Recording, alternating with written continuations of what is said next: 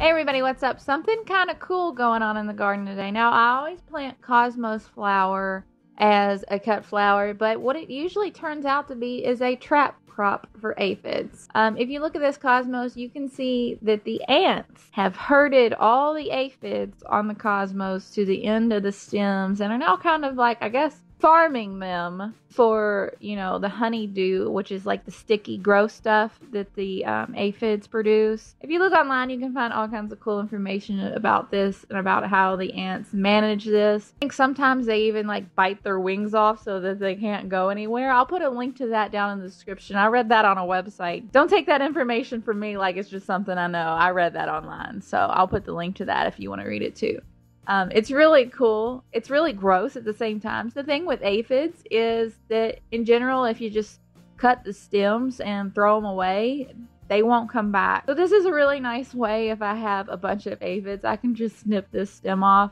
and get it out of my garden and not have to worry about the aphids. So if you have a problem with aphids in your garden, maybe give Cosmos a try and see how they work for you. Hope you like this video. Bye guys.